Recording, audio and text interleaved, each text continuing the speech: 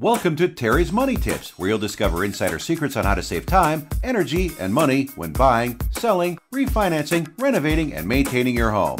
This episode is brought to you by Terry Walters of LeaderOne Financial LLC, a trusted mortgage provider for Houston and surrounding area homebuyers. Now, here's your money tips.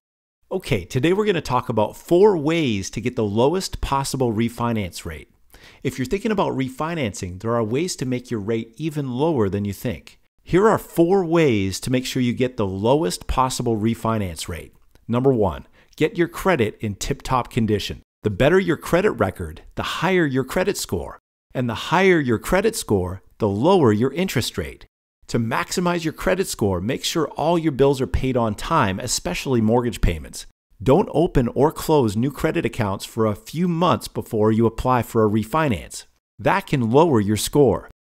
Check your credit reports and correct any errors, and pay off as many debts as you can, especially large ones, since this will lower your debt to income ratio. Number two, opt for a shorter term. 15 or 20 year mortgages have lower rates than 30 year mortgages. Unfortunately, shorter terms come with higher monthly payments. An ARM also offers a lower rate, but only for the initial years of the term. Number three, shop around. Don't settle for what your current bank or lender is offering it's rarely the best deal. Check the rates and features of all major lenders, small regional lenders, online lenders, and lenders that specialize in your financial circumstances. If all that sounds like a lot of work, then go with number four work with a mortgage expert.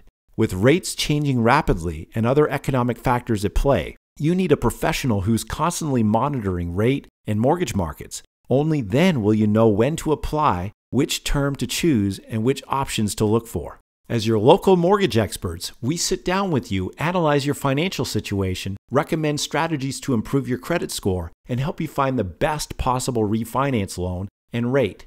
So there you have it. I've just given you four ways to get the lowest refinance rate possible. For more information on how to get the lowest refinancing rates and the best mortgage with the best rates and terms available, call us today.